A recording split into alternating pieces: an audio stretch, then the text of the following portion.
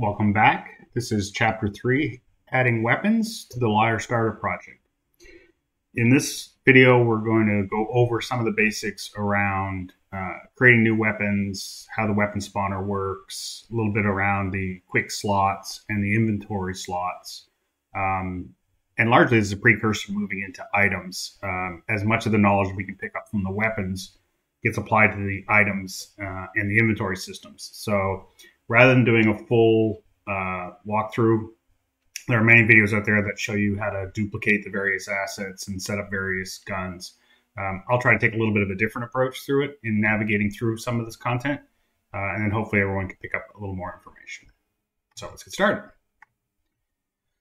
All right, so in our project, um, as we said in earlier videos, we are attempting to do nothing in the content folder. So I tend to collapse it, and that allows me to make sure that I'm not mistakenly editing it. You'll see our various folders that we've been talking about so far. In my Shooter Core Plus is where I've gone ahead and put the extra uh, weapon data.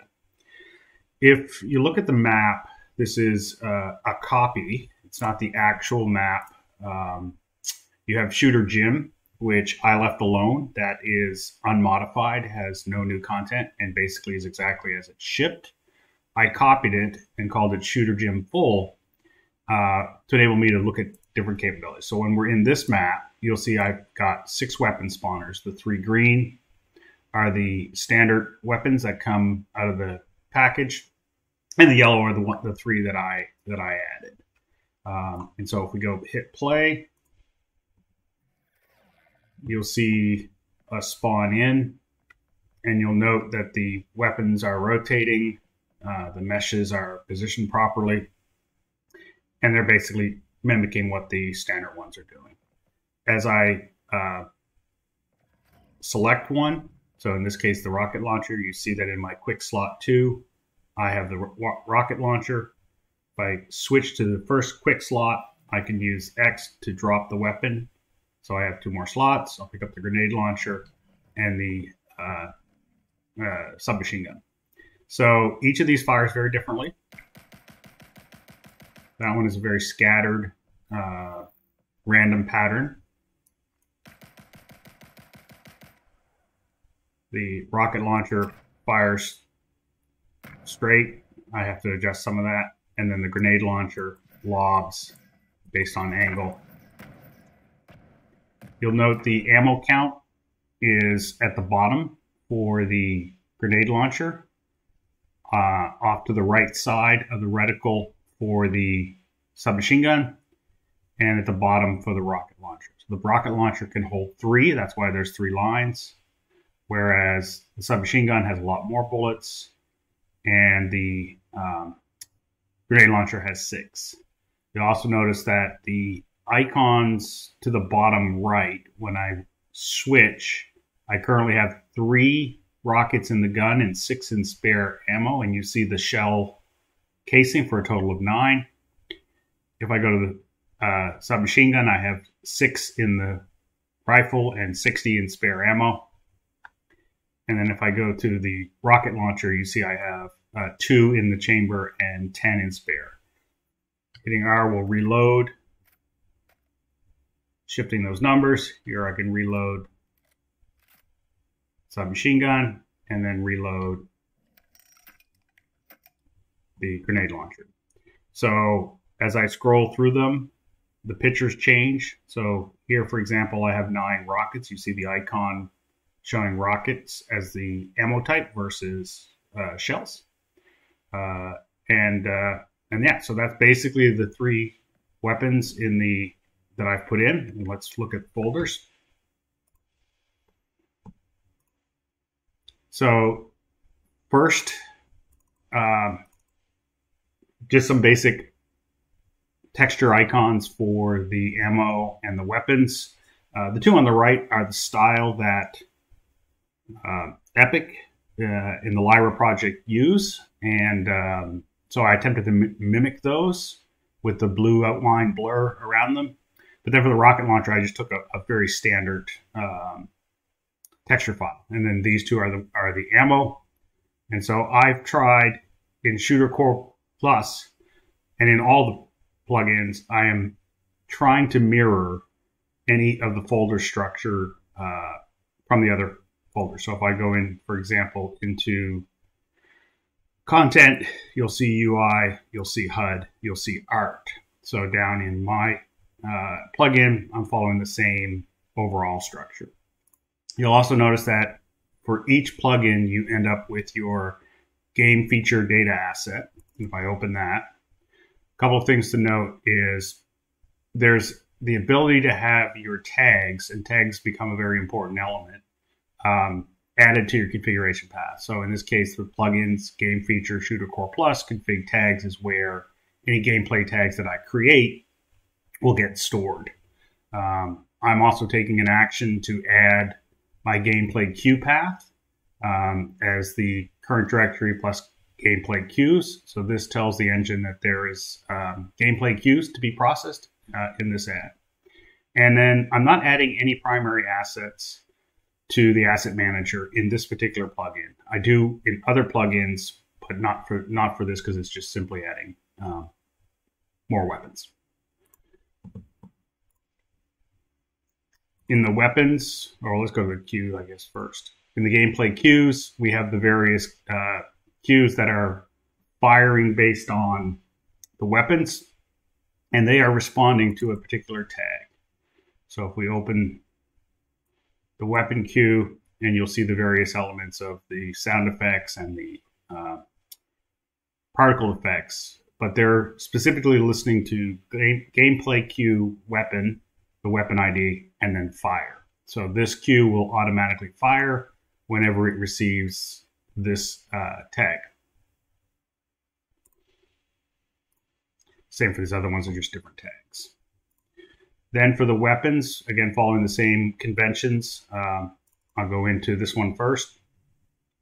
Um, I did elect to make the physical assets here as opposed to the standard. The standard has the weapons in the content folder, and then they have a particular weapons folder here where you'll see the various assets, uh, the materials, the meshes, the textures, etc which is separate and distinct from down in shooter core where they have some of the other uh, weapon data, right?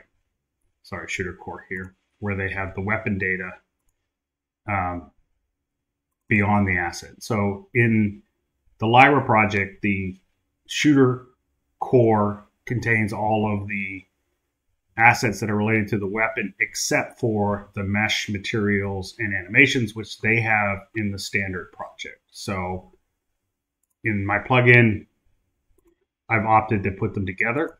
So like I say, I just created an asset folder below where I'll keep my mesh materials, textures, and animations. For the mesh, um, you need a skeletal mesh and a static mesh. Static mesh, obviously, for rotating around in the pickup uh, being dropped into the world, the skeletal mesh uh, to enable it to you know do things like reloading, etc. Um, I did do a level sequence and a control rig, primarily so that I could uh, generate some basic animations. So, for example, I have my basic fire animation, which I created in the level sequence. And it's pretty, oh, let's move this over here. It's basically just turning the canister on fire. So every time I fire, the canister turns one uh, section. So we created the asset using the control rig so that we have that asset available to us.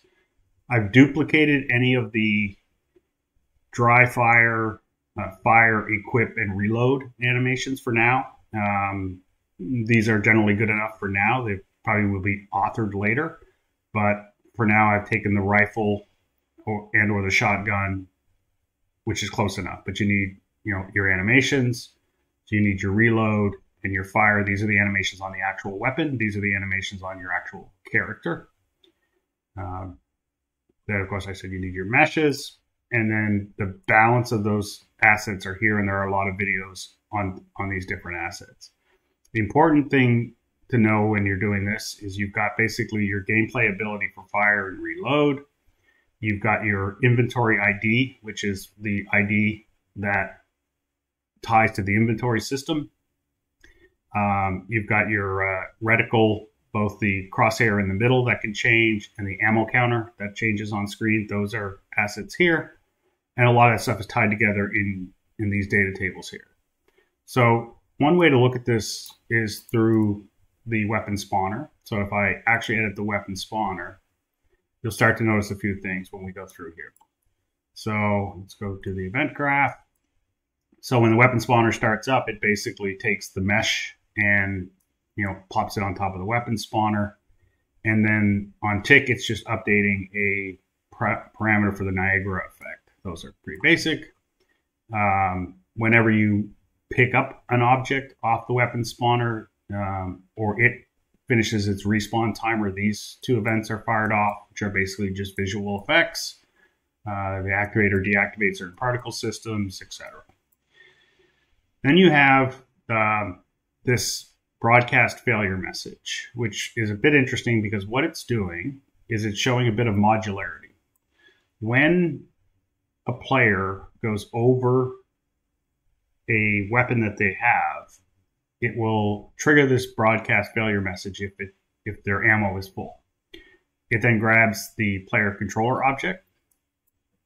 It makes a message, and this is a, a struct, and then it broadcasts using the gameplay message subsystem. So it broadcasts this ability user facing simple activation fail message. It's a mouthful, but basically what it's saying is, hey, when this thing happens, I just want you to broadcast this message. And this is the very first good example of separating logic because what this does is the UI is listening for this. And when this event gets triggered, the UI picks it up. So if we scroll down to that particular message, which is here, go to more actions and search for references. Your, oh, sorry, popped up here you'll see that the weapon spawner uses it, which we know because that's what we were in, but so does the ability failure feedback widget. So if we edit that widget, we'll see that what it's doing is as soon as the widget's initialized on screen, it's immediately hidden and it sits there listening for this message. So this allows this widget and the weapon spawner not to know about each other at all and still function by passing this message through. So it receives this message, it then goes on and, and does you know its checks and its components, whatever it needs to do. So basically, what that separation of those two allows. Oops. Here somewhere. There we are. Is when you play and you run over the pistol, the spare ammo full flashes up on the screen. You'll see it to the right of me. That's that message. So the weapon spawner is triggering the, the, the tag. The tag's picked up by the UI and it displays the spare ammo is full. So good use of separating two objects that we might have hard coded together uh, in the past. If you look at the, um, let's go back to the weapon spawner. So that's that message. The main function in in here is give weapon, and a lot can be learned from give give weapon inside the weapon spawner. So weapon spawner uh, fires the give weapon. It checks whether or not we're in post game phase. So that way, if it's over, there's no need to pick up the weapons. So it it stops that, just returns and exits. If we are still in the game, then what happens is a couple of things that are interesting. The controller, so we get the received pawns controller, and we get the component by class for the quick bar and the component by class for the inventory manager. So the player's controller has two components on it. One is the quick bar and one is the inventory. There's probably more components, but in this particular example, those two are, are components that it's using. It then stores them into two variables, it just checks that the inventory manager is valid. And if the inventory manager is not valid, it just exits. But if it is valid, then we use this function out of the inventory manager to find the first item stack by definition of this particular weapon. So it looks into the inventory manager and says, hey, do I have this weapon? If it does, it'll fill in the existing weapon instance. If it comes back null, then this will be null. So the system is going and checking into the inventory to see if I have it. Uh, it's also grabbing a reference to the quick bar, which we'll use in a few minutes. All right, if we already have the weapon, then it's basically just going to do the uh, ammo check duplicate true, which is down here. And here you'll see that we uh, we will give the ammo to the player by using uh, these stats from item definition and tag stack count. So, which is an interesting way, we'll show that in a few minutes, that they use a gameplay tag and record the quantity on that tag. Um, so we do that. We add the stack to the spare ammo tag, and then we just fire off. Uh, the thing was uh, event was occurred. Here's where the case where we would broadcast that failure message, and that would show up on the screen like I just showed you. If we didn't have the weapon, then we're going to get the weapon. So the weapon can be added to the pickup. It goes to the quick bar to see if I have a free slot. Those slots seem to be starting at 0, 1, and 2 based on this check, and it would be a minus 1 for failure. So it'll give you a minus 1 on the failure side. From there, it's executing a cue to choose some visuals. It's grabbing that inventory manager and it's adding this item definition to it. So it's giving the inventory this new item. And what comes out of that is an item instance object. So the definition goes in and it generates an instance object, which then gets added to the quick bar. So the quick bar picks up the instance of the object and stores it in the quick bar. It then goes on to just continue some other checks and other components. Finally, it sets the active slot in the quick bar to the weapon we just picked up. So it'll automatically shift weapons when you pick it up.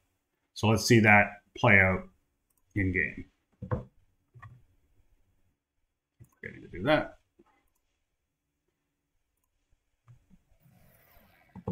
So when we roll over a weapon we already have, it either will give us the ammo or it'll tell us that we're full. So in this case,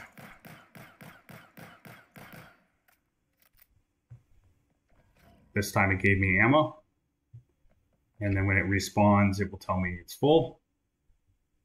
I'll wait for that. When I pick up the weapon I don't have, it will add it to my inventory, add it to the next available quick slot, and then cycle me forward to the next quick slot. So that means the gun gets handed to me, and you'll see that the quick slot moved to number two. Here, quick slot moves to number three, and I can just cycle through the quick slots. Now, if I go back to get the ammo, its ammo is full. So that's showing you kind of how the weapon spawner interacts with the data assets. You can learn more by looking at the item definition.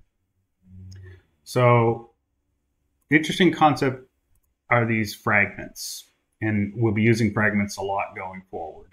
Um, any item definition, which is this data table, and then the corresponding um, instance object that we looked at a few seconds ago has a number of fragments that can can be added, don't necessarily have to be added and are individual and distinct. So, for an example, when the pickup icon gives some basic information like the description, the name, etc., whereas the equipable item gives the weapon definition that you're equipping. You can have the quick bar, which is the icon and the ammos, and the display name that shows up when you actually equip it. So for the quick bar, these are the data elements that it uses. And then the reticles So here you see we have the two reticles that are being added uh, to the UI based on where they sit in the reticle uh, fragment. And then this was an interesting one initial stats. Here you see the gameplay tags being used to carry a value. So these tags are added to the asset, which is the inventory component instance. And these tags then carry a value and they've and there's uh, logic to uh, there's logic to add and remove that up here again. Need a weapon spawner. I need a weapon spawner. So when we are dealing with the stacks of spare ammo, we're getting that instance. That's the class, the Lyra inventory item instance object, which has these fragments attached to them. And in this particular one, get stat tag count. Yeah, we're using this particular tag and we're adding to it. So we're getting how many we have with this function. This is how many do we currently have. This is how many the standard weapon would have. And we're subtracting the two of them together to get to how what's the delta between the two of those. And that, that delta is being added. So we're being added back to that point. So we have our spare ammo we started with, and then this is the spare ammo that we have after we walked over the spawner. So the use of the tag to carry values um, means you don't have to create a bunch more variables in your objects. Instead, you can either use fragments in your inventory and then tags inside those fragments to carry more and more data. So that's um, some of the features that we'll be using going forward. So we'll be using the broadcast feature uh, quite heavily. So this notion of using the gameplay message subsystem and broadcasting messages as opposed to hard wiring classes together with casts and things like that. So we're trying to avoid having to cast to different things or make references to different actors. We'll be using these tags and the ability to carry values on tags inside of the inventory items.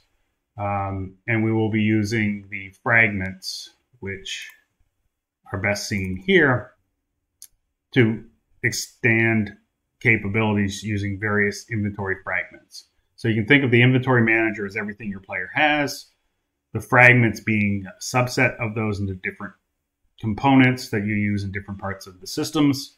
Um, and then they're all being managed on the player controller. So the player controller gets these um, components, and then those components interact with these various elements. The rest of the uh, elements inside here, I think there's a lot of videos on what they're all used for, when they're all used, um, how they define various weapons. But the important part for the go forward is an understanding of the inventory component, sorry, the inventory, the Lyra item inventory instance, the item definition, which is this asset here, the use of fragments, and then the use of gameplay tags inside fragments. So um, from here, we're going to launch into expanding on those core principles and building out our inventory and item systems. Thanks for watching. Have a great day.